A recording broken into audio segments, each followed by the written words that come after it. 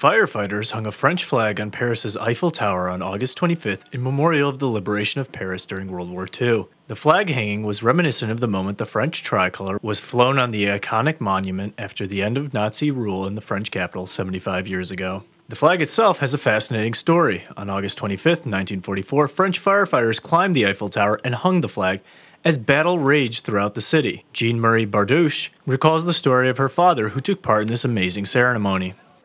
Tant qu'officier français, celui-ci They arrived. They surveyed around a bit to see if the Germans could see them around the Eiffel Tower.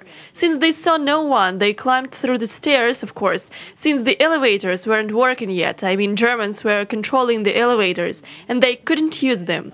It's rather that. So they walked up, and he put up the flag. Hers was not the only story that was shared at the event. As the liberation of Paris involved the combined Allied forces, there were several armed service members from around the world in attendance. Well, I'm honored to be here for this event, and uh, and I'm physically able to be here. A lot of our veterans are not able to be, would like to be, but um, it's it's my pleasure to be here as a guest and uh, participate in your celebration of uh, of the liberation of Paris.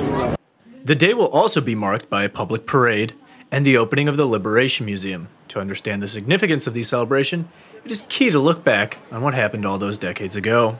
The liberation of Paris consisted of six days of fighting between Allied and Axis forces. Firefights erupted sporadically across the city, and barricades were put up. French resistance forces and the U.S. 4th Infantry Division were key in defeating the occupying forces of the French Vichy regime and the German army. The Germans surrendered on August 25th at the Hotel Meurice in central Paris.